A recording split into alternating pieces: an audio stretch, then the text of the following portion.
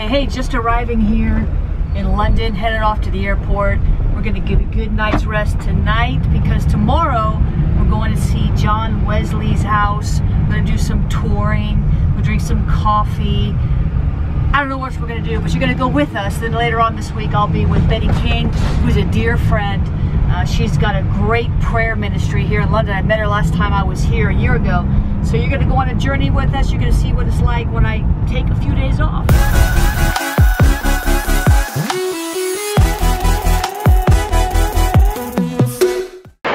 Here we are in London, Awakening House of Prayer representing in the UK, Prophet Vanessa walking down the street. Hello, having an off day today, just checking it out. Nero Coffee makes Starbucks look pitiful in Europe. We're having a good time. Double decker bus.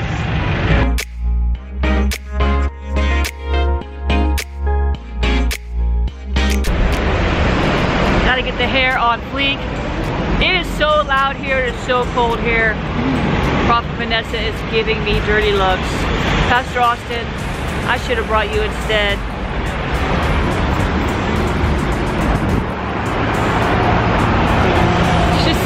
All in my hair. Didn't even cover her mouth. It's all over. All over. In my hair. In my hair. So we are lost. We're lost. We've been walking around for 12 hours.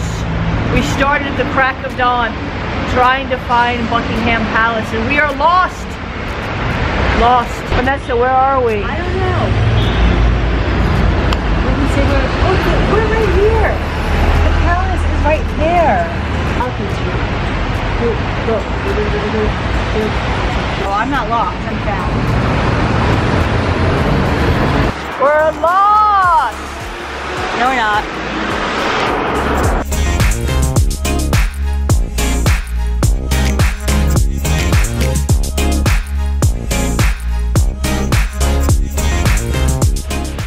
Hey guys, remember I've been talking to you in the last vlog about water spirits and here behind me we see what essentially is a merman spirit. So everywhere you go in the world, you see the operations of the spirit of Jezebel, you see the operations of water spirits. Uh, this is a merman spirit, which in the Bible is Dagon. You can read about Dagon. It was the god that the Philistines uh, uh, served. And so I talk a lot more about the merman spirit, which is essentially like a mermaid, but the, the male is called the merman. And I'll show you a picture of that here uh, in just a minute. So that's the, the merman spirit. I encourage you to go to read about that. We've got a brand new book coming out on this. Uh, it's called Spiritual Warrior's Guide to Defeating Water Spirits. They're also called marine demons. And you'll see these as I travel all over the world. You'll see the influence of water spirits. Uh, and I thought, thought that was interesting. Check it out. These things might be affecting you. And by the way, this merman spirit is just outside Buckingham Palace in the outer court. And so we see such an influential, iconic uh, landmark in a nation and water spirits uh, surrounding it essentially, greeting people.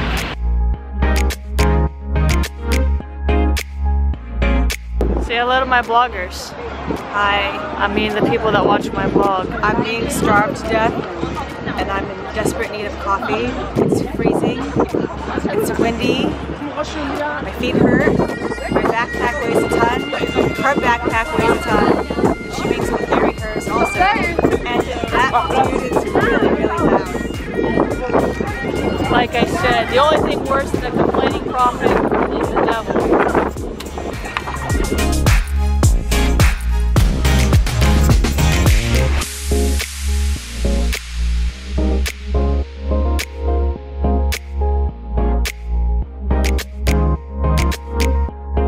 We are in Trafalgar Square.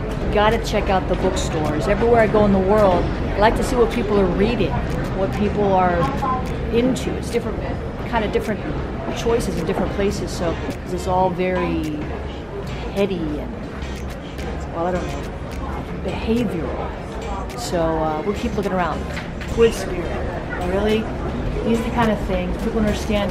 This is a water spirit, and we've written about this. I've talked about this. It's in my new book, Defeating Water Spirits. So here, everywhere I go around the world, I see people celebrating these things, and uh, my book's going to knock this one off.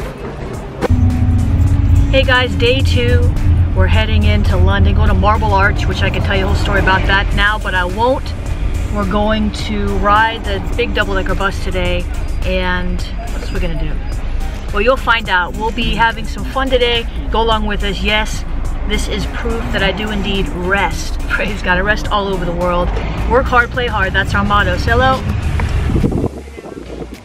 So this is how we walk after the first day. Eh? So here we are on the double-decker bus. Say hello, Prophet. We didn't get a headset.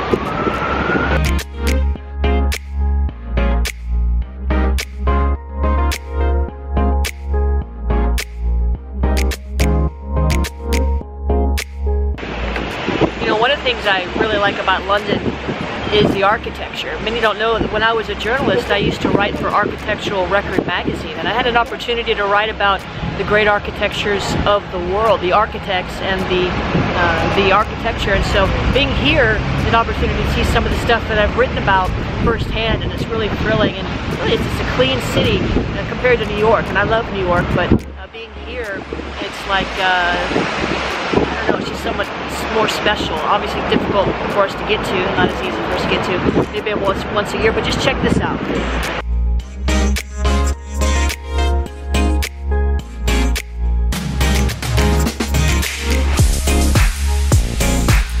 I was just passing by a sign that said strike hard, strike sure. It was something I suppose uh, from World War II uh, and uh, the name Winston Churchill was standing out. But I think that's what we have to do uh, with regard to prayer. You know, you strike hard and strike sure. I feel the whole prophetic message uh, coming out of that. Really uh, prophetic in nature. Strike hard, strike sure. See, you know, even when here I'm on vacation, I'm spiritually attuned to what's going on around me. And strike hard, strike sure. Look for a message or a prophecy. It's feeling bubbling forth in my spirit.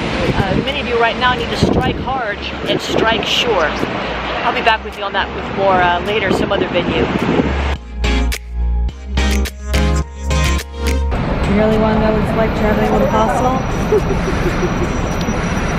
it's always an adventure, never a dull moment. Look, Pastor Austin, we found you, the goat. See how we think of you when we travel?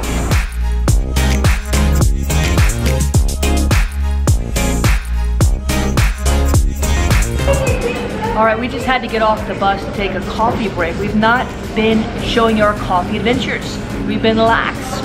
So I have to say the best coffee in all of London, all of America, all of the world is Pret a Manger. Sure I'm butchering that. It's probably French.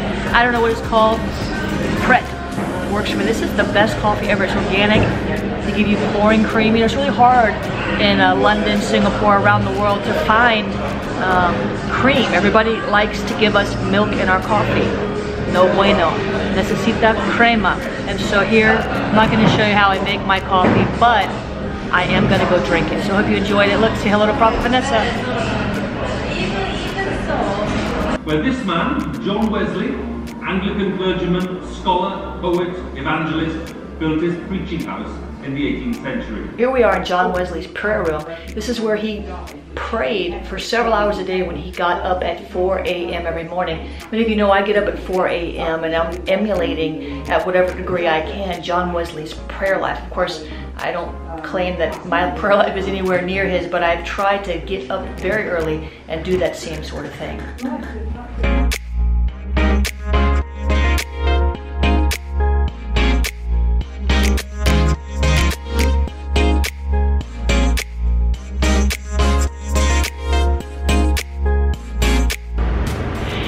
Came out of touring John Wesley's house. Uh, you saw a little bit of that on the inside. Uh, we went into a service and uh, the scripture reading was from Genesis 3. Uh, when the uh, when the devil, when the serpent uh, spoke to Eve and said, your eyes can be opened. And really, I got a revelation there as I began to press into the seer realm. The Lord began to show me hidden uh, things, secret places, mysteries of God. You know, the, the very first sin, if you if you look at it from this perspective, was uh, the, the, the woman, mankind, allowing the enemy to open their eyes instead of seeing what God wanted them to see.